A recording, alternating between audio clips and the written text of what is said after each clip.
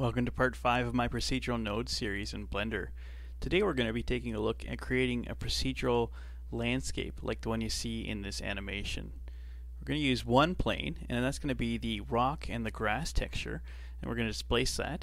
Then we're going to use a second plane for that water. So let's see how that's done. So we're going to start off, uh, we're going to delete this cube and this light as well and just bring in a plane. That's we're going to be doing most of our work on that.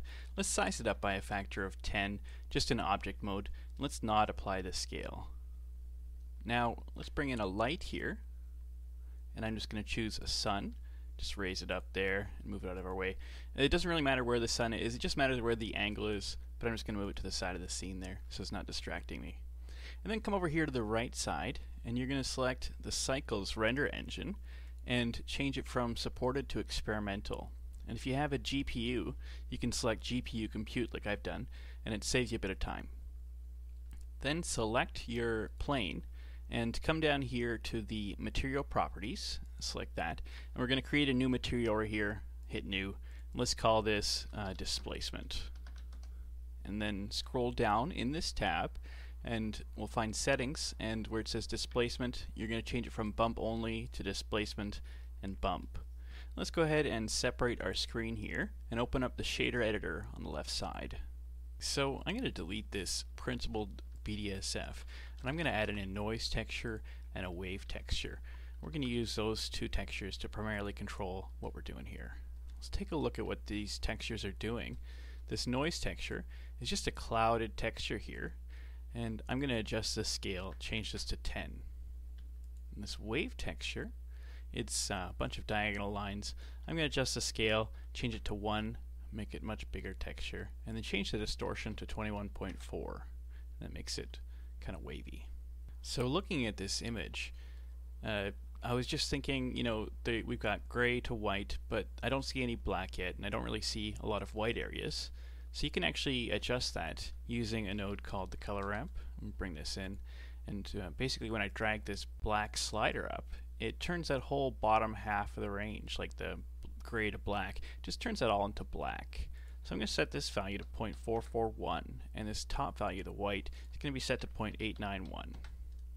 And I'm going to do something very similar with the wave texture here. Plug the color into the factor and we're just going to adjust this bottom value to 0.223. Let's see what that does. It just makes these bands a little thicker. Next up, what we're going to do is mix these two nodes together. Not just a straight mix, so let's open up this mix node and instead of attaching this noise to color 1, we're going to take it and attach it to the factor there. So it's going to become more like a mask. And what this does is it uh, creates anywhere where there was black before, all these areas, they're just going to be this color, the gray color, which is just this neutral gray. Uh, R, G, and B are all set to 0.5 and anything that was you know on the lighter side of the scale on this image here um, is now going to be affected by this texture. It should be this texture. So let's see that mix again and that's what we're looking at here.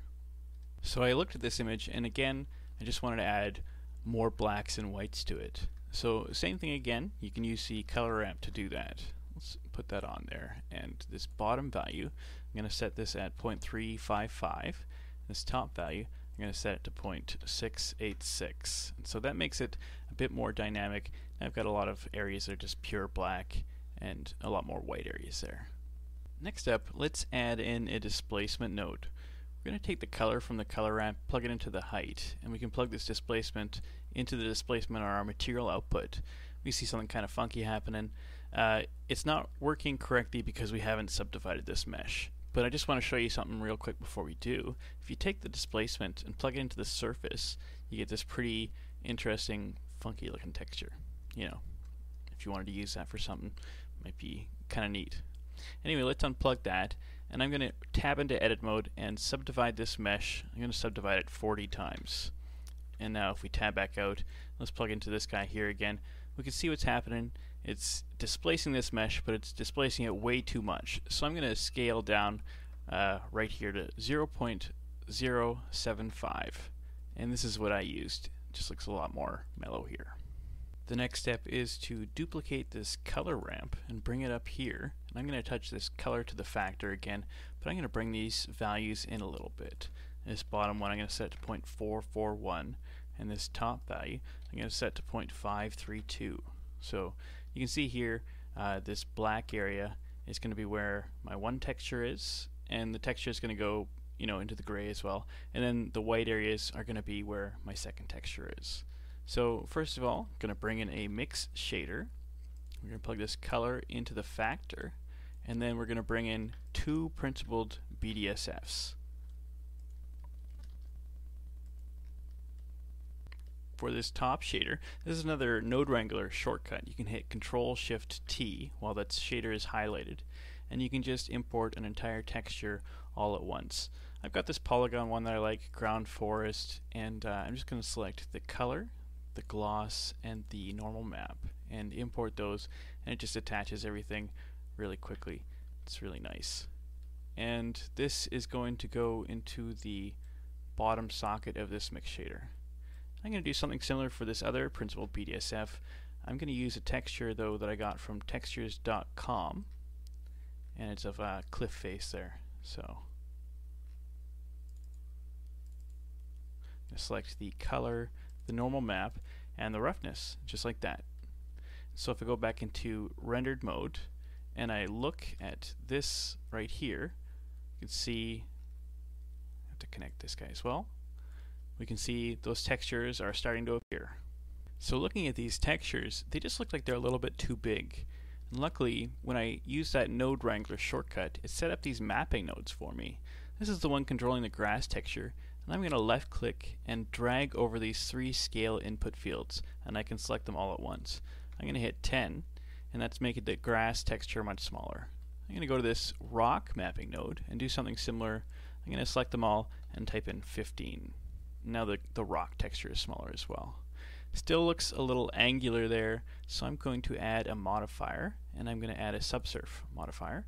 Turn this up to 3.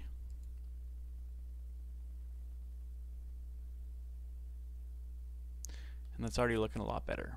Let's also add a displace texture here. Uh, we're going to add a, a, modifier called displace, and then click new where it says texture there and I'm going to change this strength to something much lower. Let's go like 0.005 and I'm going to click on this and it's going to take me to the textures tab and I'm going to select clouds and then change this size to 0.001 just something again really small. And what that's done is it's just made just close up just the terrain a little bit more bumpy and irregular. Next let's add in another plane. This is going to be our water and let's size it up by 10 again and lower it down a little bit. Something like that. Looks pretty good.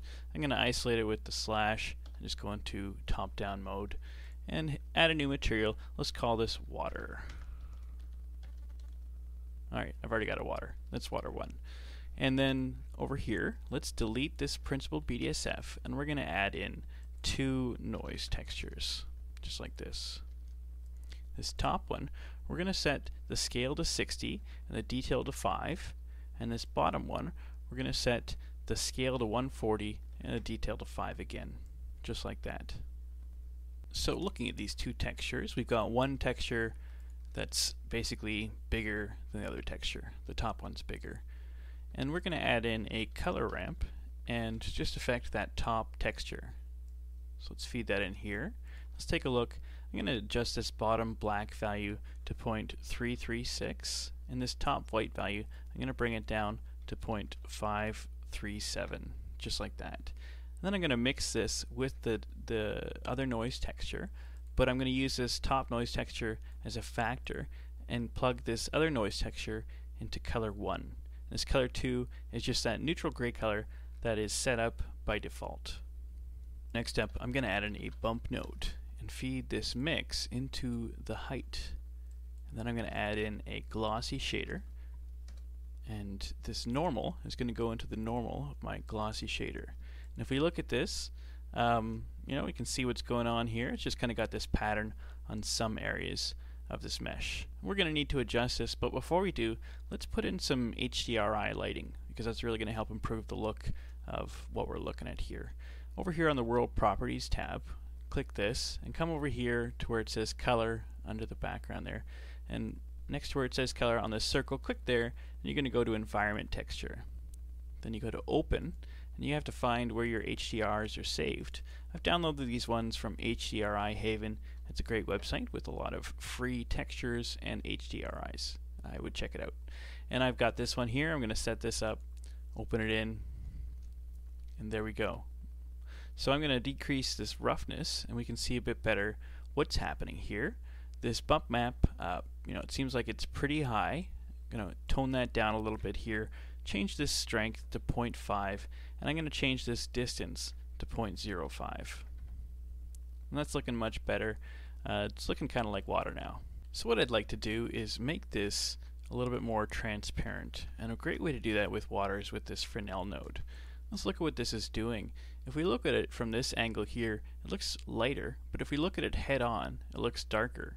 So we can use this as a factor in a mixed shader to control two different other shaders. I'm going to use my glossy and add in a transparent.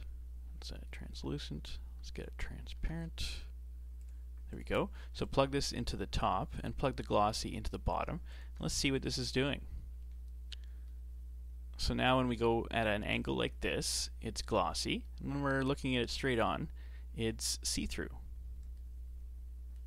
So I think what we need is a little bit more glossiness and a little bit less transparency. And I think the easiest way to do that is to bring in a color ramp and attach it to this Fresnel node. And if we think about this, with this mixed shader, we want more of this glossy showing through, which means the second socket, which also means that we want more white in our final uh, material coming from this part here. So I'm going to crank this white value down and let's see what happens. Looks like it's becoming a lot more reflective or glossy and a little bit less transparent. So that looks pretty good. And let's go ahead and bring the rest of our scene back and let's see what it looks like.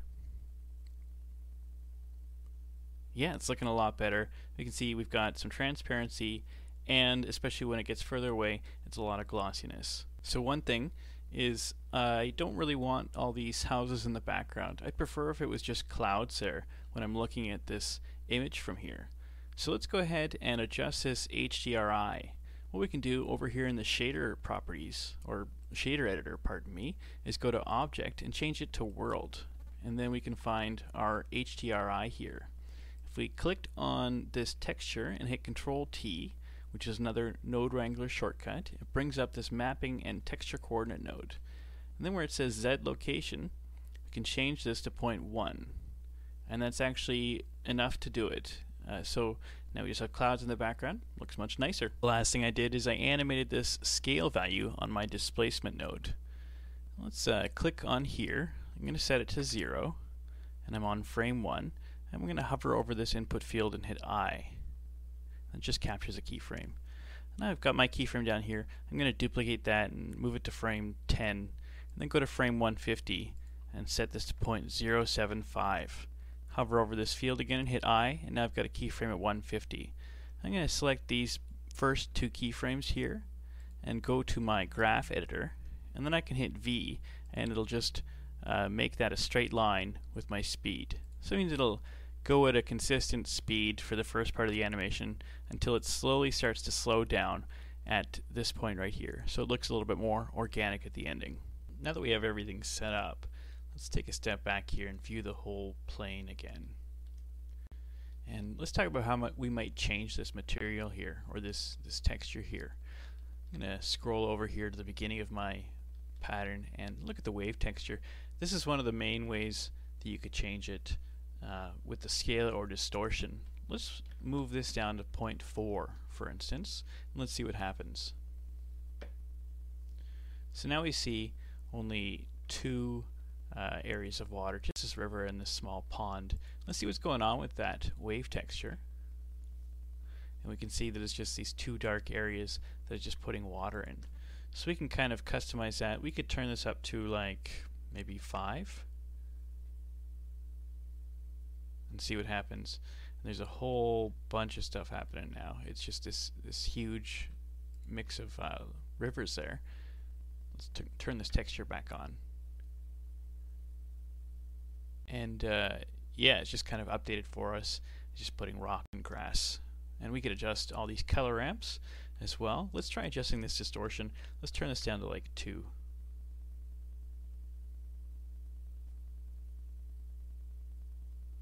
So we can see everything's kind of heading in the same direction there again. Let's bring the scale down. And now we've just got these two bands running through. I guess three bands. Let's try adjusting that noise texture there. Let's see what happens. So if we adjust this here, the scale to 1, it just blocks out way bigger areas where those lakes don't form. So it kind of just adds in this big area of grass here. Um, you know, if that's what you want, okay. But if you put this up, it's going to add a lot more detail. Let's put it to like 50 or something. And now we can see it's just too much for our subdivisions. Uh, so it looks a little weird. But uh, it's also kind of cool, you know maybe for this one it would make sense to adjust this color ramp right after the noise texture. Let's take a look at this noise texture. It's probably going to be a whole bunch of really dark spots. Yeah, so let's just ease up on this black on this color ramp here. Let's bring it all the way down to basically zero. Whoa.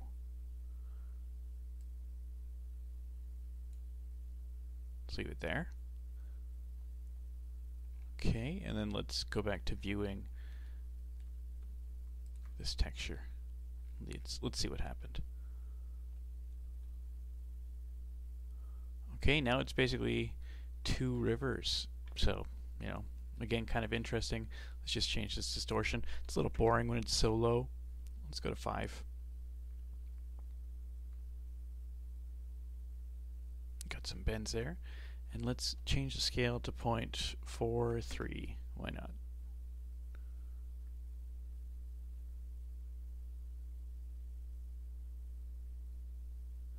And while we're at it, why don't we go ahead and click on this wave texture, and I'm going to hit Control T. And that's a shortcut for Node Wrangler. Let's go back to 1 here. And I'm just going to go ahead and view the color ramp right after the wave texture here. Just go, it'll load in a little faster. We see what I'm doing. So with this location here, we can move this, and it'll just move these bands across. So I guess it's not loading as quick as I thought it would. But we can see this is basically just gives you an unlimited texture. You know, you can adjust these numbers and it'll give you a different section of this procedural landscape. So let's try this one here. And I'll just, you know what, I'm going to adjust the scale as well. Let's go like this, 0.5. So it should make these rivers bigger. There we go and then come over here and view this.